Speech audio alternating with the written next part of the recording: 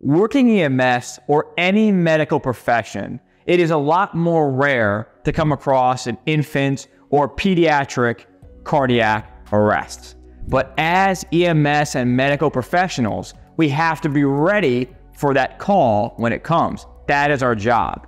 That's what we're talking about today. We're starting with BLS. So this is Pediatric Infant Children BLS, Basic Life Support. Okay, going over AHA recommendations. So the first thing we do is scene safety. We cannot help anyone if the scene is not safe. So it's safe, we enter. Okay, now what are we gonna do? First, we gotta check responsiveness. If the patient is not awake, they're not speaking, they're not responsive to any painful stimulus, they are deemed unresponsive. They're not moving at all, right? Now, AHA will tell us a few things. Now watch this. Get help, call 911, get an AED. Now, if we're working EMS and we're taking a BLS class, what does that mean? We are EMS. we are 911. Every EMT has an AED, and we are the help, right? So we are uh, usually it's a minimum that two-person crew that's going to go to emergency, right? So we kind of check that off, but I just want you to know the steps of it all. And also, if you're, you know, a bystander out or a civilian out, and you're, you know, seeing someone in front of you, this is it. Okay. So the next thing we have here is check breathing and pulse, and we have up to 10 seconds to do that. Now, some interesting notes here with pediatrics. I wrote them out here for you. Now, we're talking about infants in this little series of video here. Infant means one year and under. That's what we're going to consider an infant. All right. Now, if we're talking above one year, now we're getting into what I might call children, right? And we have children that are older, and we have a small child. Okay. So that's what we are kind of thinking as we're talking about these things. Plant that in your head. So for child age, we look at the carotid pulse. We're still going to check the carotid pulse. Okay. Now for infants, we have the brachial pulse. That is on the inside of the upper arm. That's your brachial pulse. Okay. Now, this is where we're going to do our pulse check. We have up to 10 seconds to figure out are they unresponsive? Are they breathing? Is there a pulse? If it is no pulse, no breathing, they are unresponsive, they're in cardiac arrest. Now we jump down here. The next step now is to start CPR and attach the AED that we have as EMS, okay? So yeah, you're a two-person crew, so we have one provider starting CPR, compressions, and the other attaching the AED. Great. Now, here's what we have for our different ratios. A one rescuer, okay, what if you're by yourself? That is gonna be 30 to two, okay? Now, two rescuers, like a normal EMS crew going to a call together, then we look at 15 2. This is the big difference from pediatric and adults. So any adult patient, any scenario, 30 and 2. But pediatrics, infants, children, if there's one rescuer, it's 30, and if it's two, it's 15. You gotta remember that. They're gonna get asked about that. This is why I put a big circle on it, and these notes here are very important too. Next thing is, well, the compression technique is different from adult to children to infants. So we, get, we have a range here, and I'm going to talk in a little bit about how deep we go with the compressions and how we know if they're effective. And we'll get to that, especially with children, it's important. But let me just give you some things to remember. Infant, we have a two finger technique, okay? So what are just placing the two fingers down on the chest? Option one.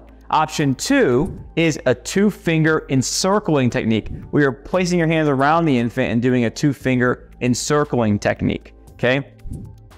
Same deal. They both work. Depends on which one you want to do. All right. Now, the AHA says, okay, if you're a two rescuer, uh, encircling your hands may be better, but it allows you to do whichever one you're comfortable doing, right? They're both there for you. Now, children, you may be able to get ahead again with a small child. Maybe they're on the border, maybe like a toddler age. You may, you know, two years old, right? You may consider doing, you know, one-handed CPR. That force might be enough, but it's still recommended to do two hands. So it's up to the provider to decide what's going to be enough force to get the job done, which is going to be two hands or one hand in children. Okay, so you have two different options. Again, they're giving you two different options here. The goal is to make sure that you're getting deep enough and fast enough. So that is the big goal here when we're talking about CPR. Now, down here, after we've done our our cycle CPR after two minutes, we move down here. Well, now the AED is talking to us, right? And it's to tell us, are we to shock the patient? Are we not? Are we going back to CPR? So let's talk about that. So you're going to shock as needed. You're going to follow all the AED prompts. The AED is going to kind of coach you and help you working this code. And then remember, it's two minute cycles of CPR, whether you're doing 30 and 2 or 15 and 2 for BLS. So, what exactly does the American Heart Association call high quality CPR? These are some of the key findings you got to know, and a lot of these are going to be test questions. So, first, we want to start chest compressions within 10 seconds. We approach that patient, we're checking for responsiveness. We have 10 seconds to decide is it cardiac arrest or not? Are they breathing? Do they have a pulse? Yes or no? Remember those locations we talked about, right? Okay. Now push hard and fast. The rate is going to be 100 to 120 per minute with our compressions. That is our goal for every patient. Now, I put a little star here for you. Why? This is going to be a major test question. Here it is. What is the correct depth? What, how deep are we, are we going to go with the compressions in children versus infants? Now we know in the adult patient, it's at least two inches. Now, what about children and infants? Well, in children, you have a little buzzword here. At least one third of the chest, which comes out to be approximately two inches. But this is a key finding, okay? You might not see the two inches on a, on a test, but it, this ends up being the answer. Infants, it's a little different. Same deal, at least one third of the chest, but it's 1.5 inches approximately. Okay. So these are little buzzwords you're going to see on test exams. So now you know it. Gotta jot that one down. So we have some extras down here that I want to talk about as well. First is allowing the chest to recoil after each compression. With ventilations, we want no excessive ventilations. And we also want to make sure that we have good chest rise and fall with our ventilations. Down here, we have minimizing interruptions with CPR and limiting that to under 10 seconds, right? Now, obviously, there's times we have to stop CPR. Well, if we're gonna shock the patient, we gotta stop compressions for a second, let, let the AED do its thing, right? We're following the AED prompts. But we really wanna limit those interruptions. We're also talking about here when we switch compressors. So make sure, like, you know, you're talking about the triangle of AHA, right?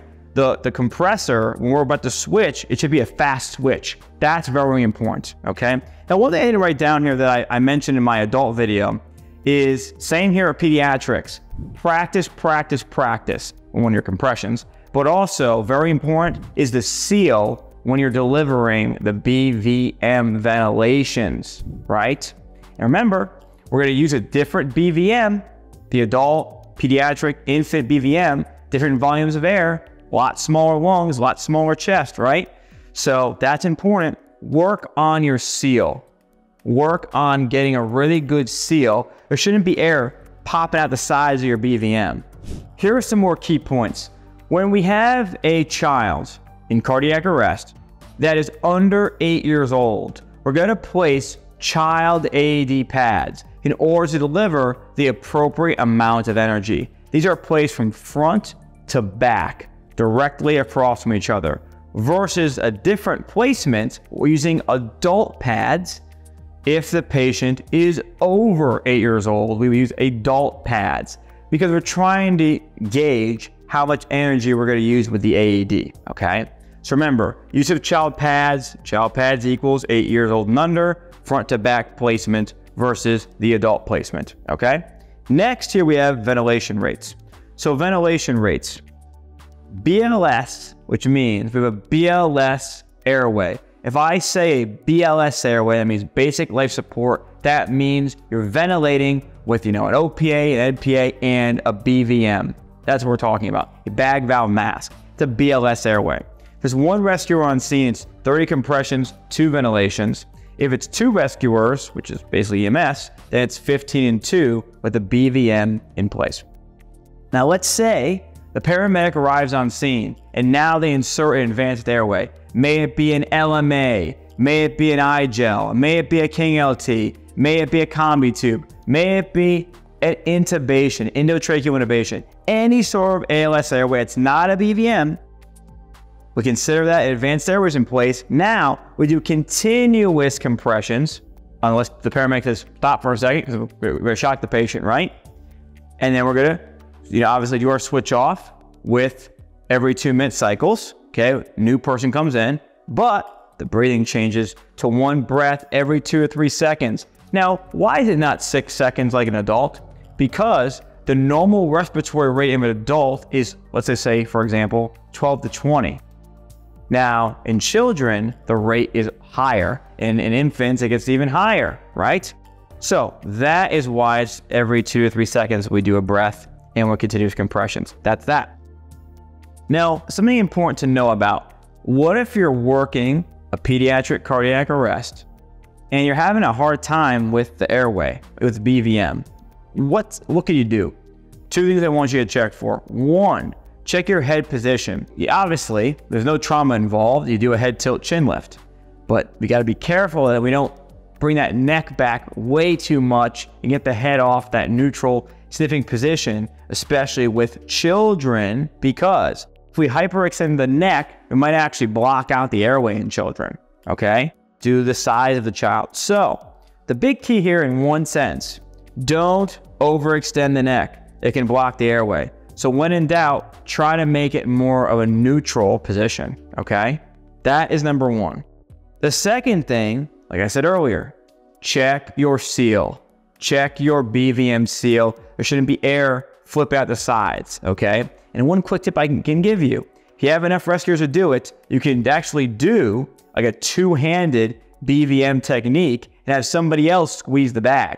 By clicking in the first link in the description, you get lifetime access to my Video Vault program. The Video Vault includes over 480 videos of content and now holds over 2,000 National Registry practice test questions also include some really awesome bonuses like worksheets, drug cards that are pre-filled out all for you, community group access to ask me questions, and audio files when you are on the go. The Video Vault will find you no matter where you're at, whether you're an EMR, EMT, advanced EMT, or paramedic student, and my students use this whether you are getting ready for school, in school right now, or getting ready to go pass your National Registry exams. So click the first link in the description right now and get yourself lifetime access to the Video Vault today. I'll see you there.